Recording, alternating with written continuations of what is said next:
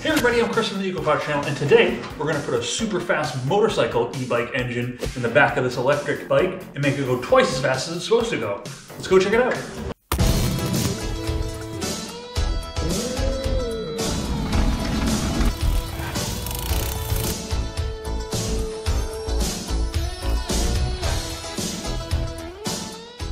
All right, so this is an Elf e-bike, and it's supposed to have this little tiny motor in it. So what we're doing is we're putting this souped up uh, electric motorcycle motor into the back of this. The, this little motor used to power this thing about 25 miles an hour and uh, at 24 volts, and this much bigger hub motor works at 72 volts. So we're going to go ahead and upgrade the battery and the wiring and uh, install this souped up motor into the back of this elf. All right, so the biggest thing we had to address was the fact the original brackets were not made to handle this type of power, and they uh, they're aluminum and they bent pretty quickly. And when they bent, they actually damaged the cable. So first thing we had to do was repair the cable, strip this all the way down, and repair the damaged wires in here. Then we went ahead and fabricated up these brackets, and these brackets aren't slotted they're internally slotted, but they're not open, so, and they're made out of steel. So these are a lot stronger the original than the original brackets. And because this is a motorcycle motor, motorcycles would have a tension on them, and uh, electric bikes don't. So we went ahead and added this tension bolt onto it so that this chain can actually be tensioned so that this wheel uh, doesn't slip at all. Next thing we had to do is get this wheel aligned and get it uh, freewheeling. So as you can see, it's all happily installed in there. Got the chain on there. Chain's running great up to the pedals.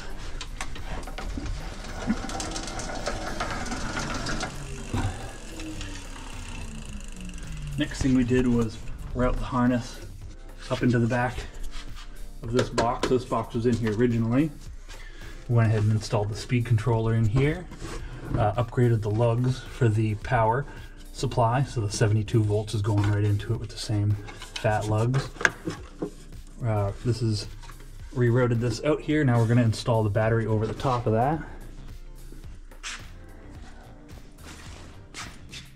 So do, to do that, we fabbed up this tray. And this tray will drop right down inside here.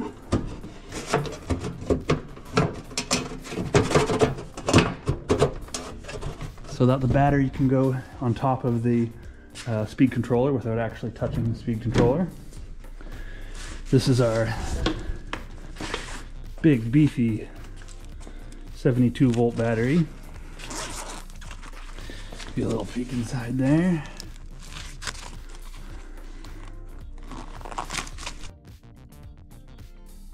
This unit does the speed control and the blinkers. This is the connection for the motor. You can see that goes there. This is the connection for the battery and the uh, solar is in here.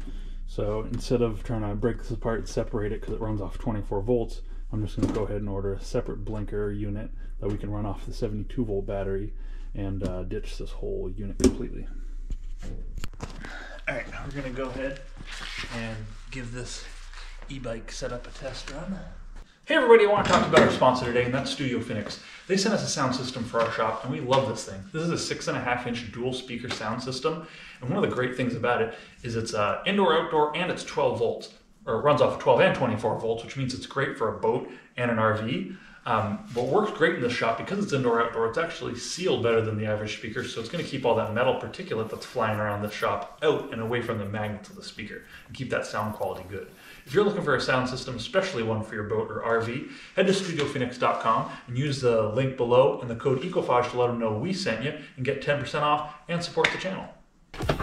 Just sparked last time. Let's try it again. See what happens.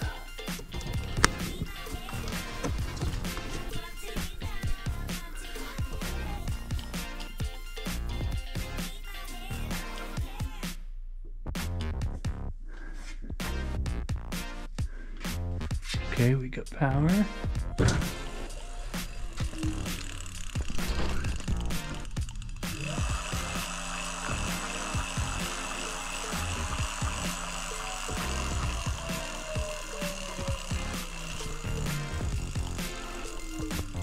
So far, so good.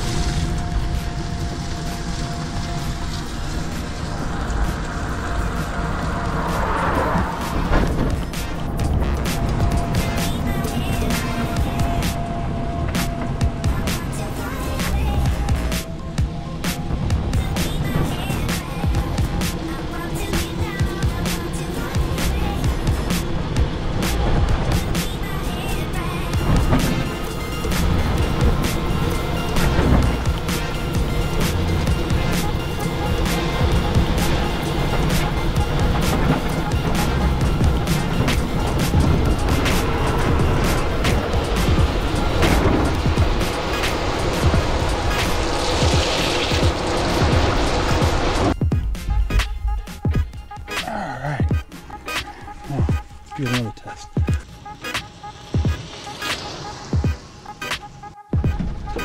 All right, let's kick in the speed booster.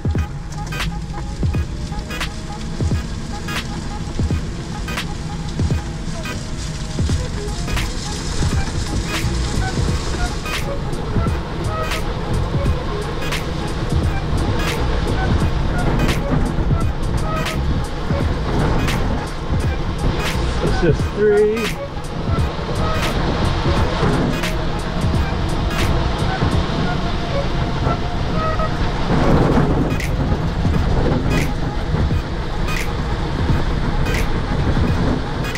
thing ripped. Trickle mirrors.